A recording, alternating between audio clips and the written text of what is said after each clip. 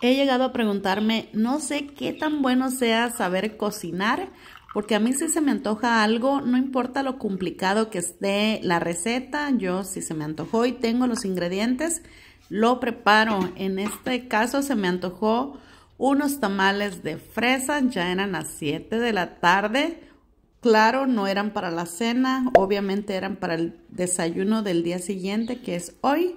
Así que me puse a preparar esos tamales, chicas, y, y, yo soy de estas personas que en verdad yo si tengo que hacer algo, lo hago, no importa si es cocina, no cocina, porque a fin de cuentas lo termina haciendo uno, ¿verdad? Pero en cuanto a la cocina, y me refiero más y me enfoco más a lo de la cocina, no importa qué tan complicado sea lo que voy a preparar, si se me antoja yo lo hago.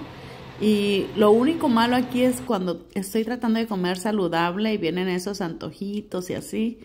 Eh, digo, no sé qué tan bueno sea saber cocinar, pero bueno, es el momento de disfrutar sin remordimiento de conciencia. He estado cuidando un poco mi alimentación, pero bueno, se me antojó esto y me resistí a comerlo hasta hoy en la mañana para el desayuno porque soy de las que piensa que si comes un poquito mal en la mañana no está tan mal como lo que comas en la cena.